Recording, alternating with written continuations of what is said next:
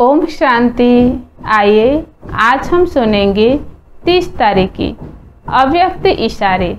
आज परमपिता परमात्मा हम बच्चों को कह रहे हैं, बच्चे, मधुरता और नम्रता का गुण धारण करो।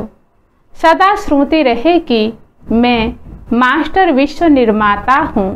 निर्माण का कार्य करने के लिए निर्माणता अर्थात सरलता का गुण नेचुरल रूप में होना चाहिए। जहाँ सरलता है, वहाँ मधुरता है। नम्रता आदि अन्य गुण स्वतः आ जाते हैं।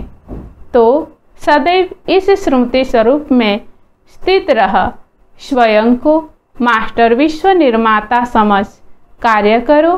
तो माया के छोटे छोटे विघ्न बच्चों के खेल समान लगेंगे। अच्छा ओम शांति।